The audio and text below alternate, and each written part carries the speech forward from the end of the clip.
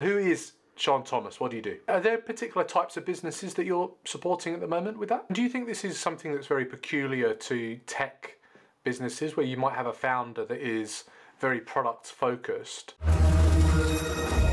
Welcome to the Jod Pod, a micro podcast where we interview CEOs, founders, entrepreneurs, authors, and coaches. Today we are joined by Sian Thomas, founder of Integrow Sales Solutions. Great to have you with us today, Sian. Thank you. Um, yeah, I've just abbreviated it to Integrow Sales because it's a bit of a mouthful. It is. Okay, Integrow Sales, we can do that. That's not a problem. Uh, for those of us who don't know who you are, Sian, who is Sian Thomas? What do you do?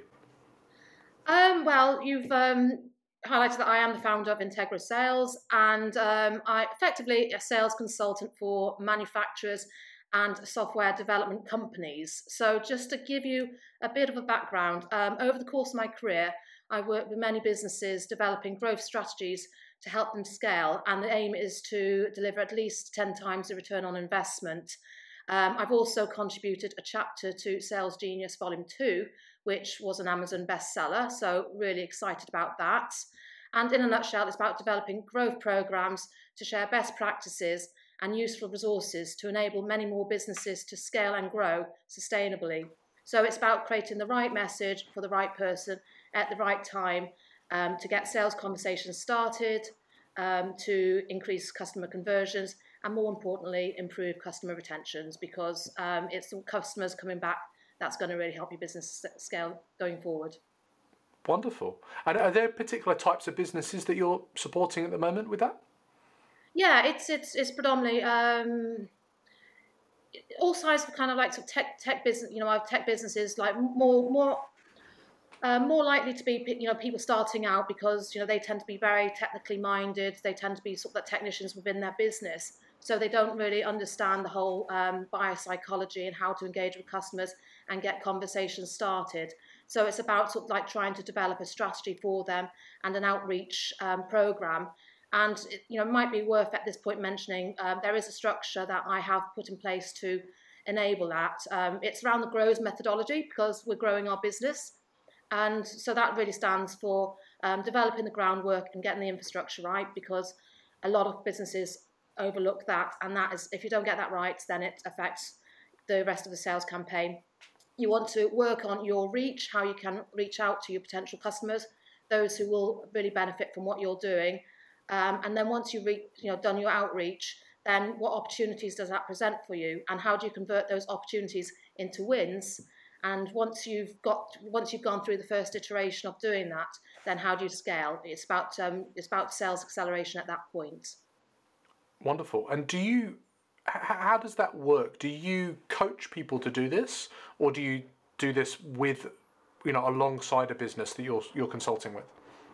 Um, it's predominantly um, done with you. Um, you know, there are different frameworks. Obviously, it depends on what budgets um, that businesses have got in place. So, um, for instance, this person um, a couple of years ago I was working with just really new coming out of their corporate business and wanted to set up on their own. And obviously, the budget was tight. So, I did sort of like put a framework, you know, a do-it-yourself solution for that. But more commonly, then it's it's done with you. So it's about having the framework, agreeing the strategy, you know, who's your customer and all of that side of things, how we're going to reach out to them, and then set up the accountability levels. And I can hold their hands through that. But then at the very, uh, you know, if, if they want to go on board, uh, where I'm looking to really develop and what I have, where, where I really started doing this was doing the campaigns on their behalf. So um, actually practicing what I'm preaching. Do, you know, I started this from freelancing and sales and realizing that um, a lot of businesses won't get in the infrastructure right in the first place. So, so it, it, it just depends on how immersive they want their involvement, what kind of budget, their growth aspirations. All of those come into play depending, um, and that determines how the relationship I have with them going forward.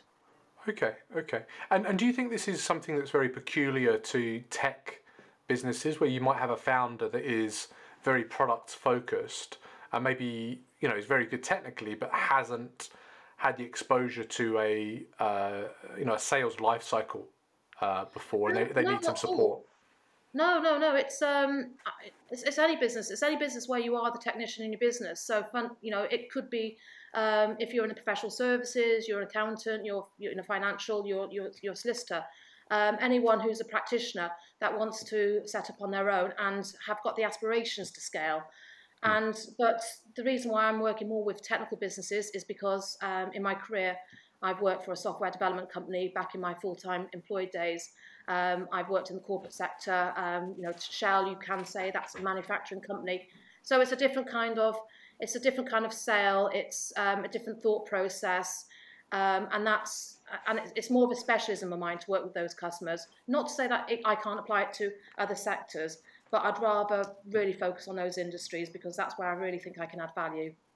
Wonderful. That's awesome.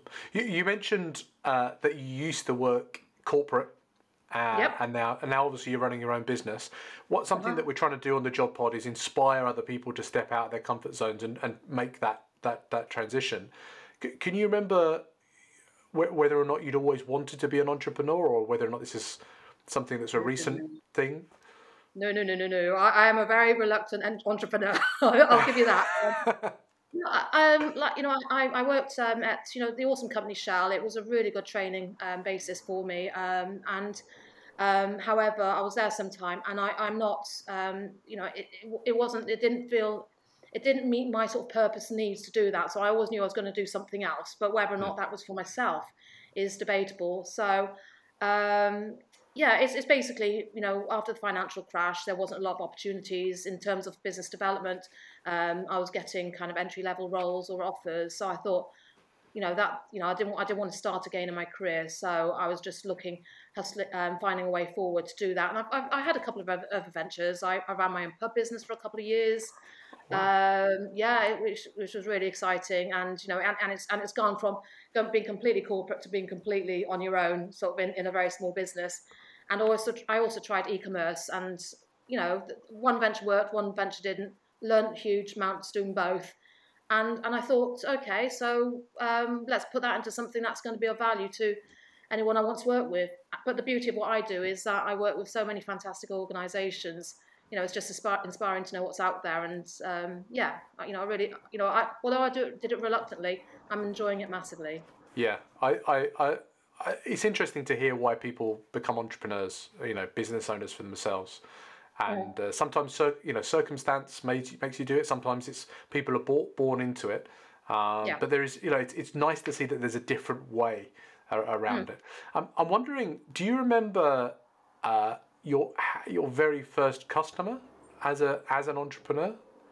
Um, oh, uh, I'll be honest with you, no, because like it sounds it's, it's, it's an awful answer to give because um, you know when I was freelancing, um, I when I was freelancing, I was um, you know sort of a lot of them would typically be in the digital space, and it was yeah. kind of very similar, very similar offers. So it's you know that sort of like couple of years really does all sort of like merge into one. But ah, tell a lie, um, there was one business I I did do some work for. I was basically outsourcing to that. They were doing um, outsourced business development, but I was I was working under their umbrella brand, and um, and it's for a friend I met through networking, and you know, so she, she you know, brilliant, brilliant, um, brilliant lady, and you know, and I was doing some campaigns for them, which was you know, which was in, in a number of sectors, and and that was just um, yeah, that was that was really special because it was like kind of my first sort of you know first time really working for myself in, in that yeah. space.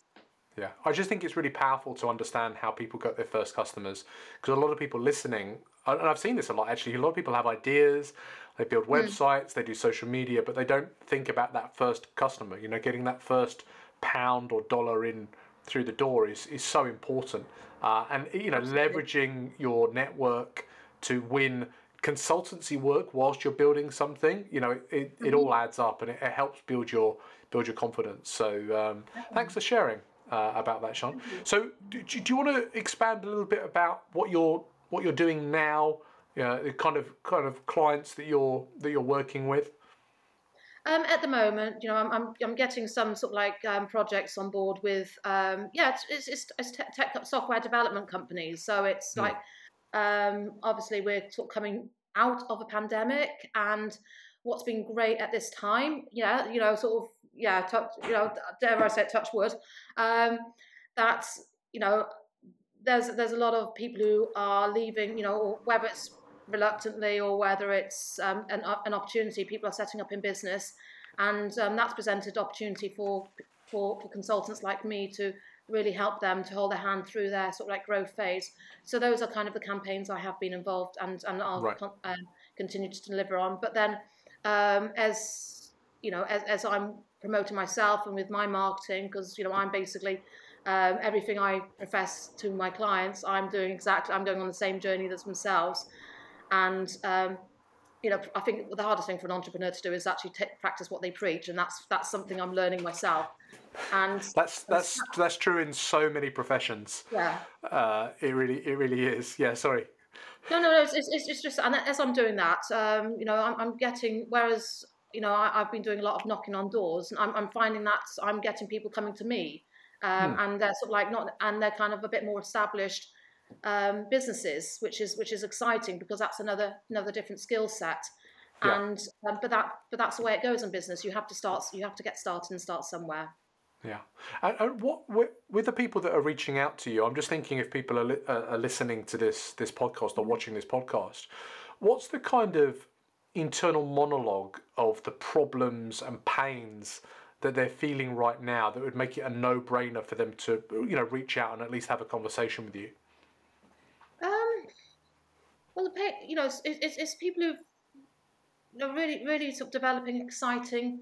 You know, they they basically you know, created a few passion projects and want to go to market with it, but they don't really know where to get started. They're like, um, you know, they're developing their businesses. Um, there's all kinds of business models, and you know, no, no matter what books you read and um, you know, webinar sessions you go to, um, you know, there's some people who create product and then launch, and there's others who launch and then create a product. So whatever paradigm you're going through, but the ones typically are the ones who like to sort of, you know, basically know that you know they've got a product but they don't know where to get started, and that's mm. and that's the fundamental um, pain point. If, or even if they're um, working hard, you know, working well in one market, but want to extend into another market. Um, I've, been, I've been talking to a to, to Swedish I, I, um, tech business who is looking to develop in the UK. Um, I'm talking to a South African tech business that wants to reach into the UK, and uh, um, so it's it's basically anyone looking to sort of go out of their what of their current um, comfort zone in terms of their sales marketing, and those are people who I'm speaking with at the moment, or, or people who know that they need to, um, if they're um, if they've been using referrals and um, introductions, but that's not really quite hitting the mark in terms of the revenue projections. Anything yeah. like that needs to scale. Wonderful. That's uh, that's great, Sian. I'm you know really interested to see how things go coming out of the you know the lockdown and pandemic to see how things go uh, with with that business. Are you happy to answer some quick fire questions? Love to answer some quick fire questions. brilliant, brilliant. Love it. Uh, what uh, What's your favourite app or SaaS product? Um, okay, so um, I would say there's there's a couple I use. I, I can't get away with this podcast without saying a CRM. You know, you've got to have a CRM or some kind of organized organization tool. But um, programs, I love Can because I'm producing a lot of content and brochures and sales collateral. Um, Canva is the one for me. I just find that so easy to use and professional looking. Canva is quickly becoming the unofficial sponsor of the podcast. Oh, uh, right. What? Uh, well, I mean, everyone's mentioning Canva. Oh, uh, what, what's, what, C, what CRM do you use, Sian? Um, I am a HubSpot partner, so that is my tool of choice. Um, you know, I will work with other CRMs, but I do get asked for recommendations quite a lot, and that's what I normally suggest. Wonderful, great recommendation. Thanks, uh, thanks for that. It's free to free to start with as well, isn't it? If you're a new, absolutely, uh, yes, new new new entrepreneur uh, out there, uh, what's your most recommended book? Oh man, um, I'm going to recommend authors because they do some great books. If that's all right, is that because I'm going to go against sales, but but okay. So if I was to name, I love Malcolm Gladwell. I, I find Tipping Point awesome because it helps you to think outside conventional wisdom as to what really is going on when people are making decisions because in terms of buying, it's not always the obvious. The, the obvious aren't always the answers. So it's, it's that kind of thing. That, that's why I love, love him as an author. Tipping Point is is you know an incredible incredible book. Tipping Point, I think, if you're an entrepreneur and understanding how tipping points happen, I think is really key, especially if you're trying to build an audience. Any books like that, I absolutely love because it just, it, you know, it's, it's about psychology, and I love psychology. Yeah, really fantastic. Great recommendations. Thanks for that, Sian. Um, who's your favourite YouTuber or podcaster? Um. Okay. I, I don't. Oh, this is this is a confessional. It's, it's really hard for me to say, but if I was to pick a name, Louis Theroux would be what would be mine.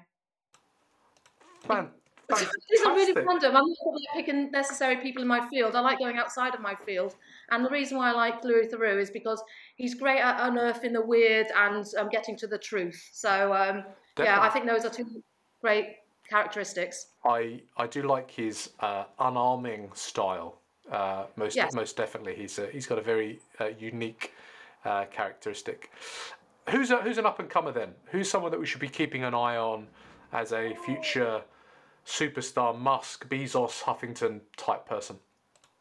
Um, if I was to, if if I was, if, if I had an inkling, if I had a hunch on someone, I, I don't think I'd be involved in sharing that information. I'll be like, no, so busy just try and get myself involved. No, I'm teasing. I'm teasing, of course. Um, I've um, no, I, I'll, I'll be honest. I don't. I find that one really hard to answer, but the um, but having conversations in my area, um, there's a lot of great te- um, apps that are being developed, and there's going to be some, um, for instance, you know, I hope it's going to be someone that's homegrown um, because there's a lot of really, you know, it, there's there's a lot of fascinating British um, entrepreneurs and, and and, and innovators, and um, something that really addresses something fundamental. You know, I have had inkling that there's someone developing an app around um, the, the food waste problem and, and addressing that. So I just, you know, if there was is to be someone, then I'd like it to be in that in that area. There are some really interesting UK-based entrepreneurs that are, are coming through um, at the moment. Uh, I know an old boss of mine uh, is the uh, co-CEO of Sonovate, which is a fintech from Wales that's coming out that is teetering on a billion dollar, billion pound valuation, which is really interesting. So, uh, yeah. but you know, British entrepreneurs, yeah, awesome. Um, thanks for that. And Sian, where's the best people place for people to find you and interact with you online? Um, connect with me on LinkedIn. Like if you like, you know, if you like what you're hearing, um, find me on LinkedIn, and I'm happy to connect with you and. Um, know, the obvious place will be on my website. Um, everything that I share on social media will find its way on my website. So those probably would be the first places to do that. Wonderful. Thanks, Sian. There we have it. Sian Thomas is the founder of Integrow Sales, who scales manufacturing and software development companies profitably and sustainably. Uh, she got her first customer through networking and doing some outsourced BD work, very useful uh, example for anybody that's out there starting their own business. App that she recommends is uh, HubSpot. She's a HubSpot partner for your CRM and for your content. Have a look at Canva. Uh, I'm sure you've used Canva or had a look at Canva yourself. Reading wise, she likes intellectual, intellectually stimulating titles like Tipping Point. Uh, we'll put some links to those in the show notes so people can look at those. And she loves listening to Louis Theroux's very unique interview uh, style. Uh, for the future, we should be keeping an eye out on British entrepreneurs. Uh, there's lots of tech, fintech entrepreneurs coming through in the UK at the moment um, that we should be keeping an eye out for. And contact wise, you know, head over to LinkedIn, contact Sian.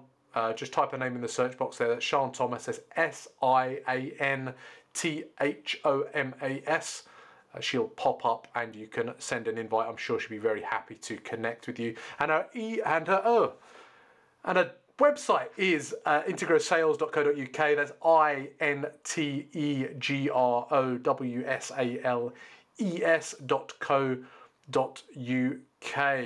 Sian, thank you for joining us today on the Jod Pod. Thank you.